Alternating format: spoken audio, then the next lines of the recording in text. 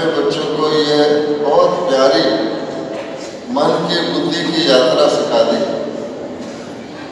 कि रहो यहाँ, लेकिन पूरी तैयारी रखो वहाँ और अपना लंगर उठा लो, पूरी बिस्तर तैयार रखो।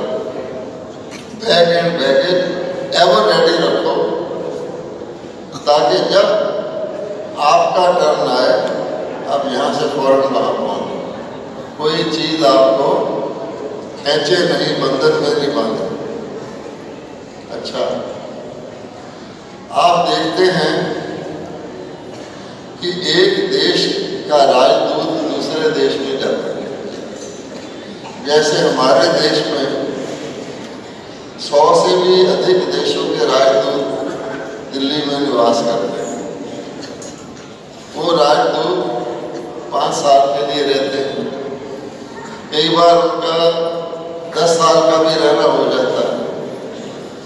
और वो थोड़ी बहुत भारत की भाषा सीख लेते हैं।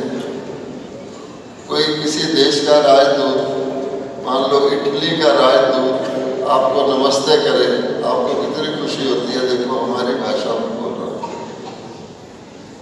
नमस्ते करना सीख लेते हैं। उनके बच्चे भारत में ही पढ़ते हैं स्कूलों में।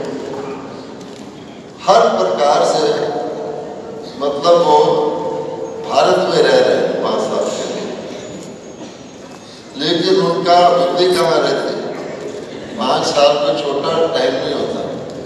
उनकी बुद्धि पाँचों साल अपने देश की तरफ़ रहती घूमते, फिरते, खाते, सोते, चलते, फिरते, वो यहाँ है। लेकिन उनके मन में कहाँ का हित रहता? है इसी प्रकार से बाबा कहते हैं, बहुत आसान है। मैंने आप बच्चों से घर नहीं छुड़वाया बिज़नेस नहीं छुड़वाया, परिवार नहीं, कुछ भी नहीं छुड़वाया। लेकिन केवल आपको कहा कि जैसे राजदूत यहाँ रहते हुए वहाँ का सोचता है कि आखिर तो मुझे वहाँ जाना इसी प्रकार से बाबा ने हमसे क्या करवाया? जिसको भगवानो वाच की भगवत गीता में क्या कहा गया? मन मना हो। या माम एकम शरणम ब्रज कि परमात्मा कह रहे हैं, बच्चे यहाँ ही रहो, लेकिन मन को मेरे से लगाए रखो। और अन्य तरफ़ से विराग वृत्ति रखो, बुद्धि को हटाओ कर मेरी से ही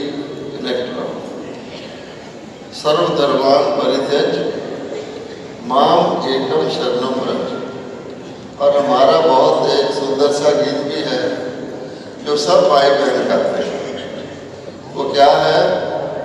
मेरा तो कौन? मेरा तो शिव बाबा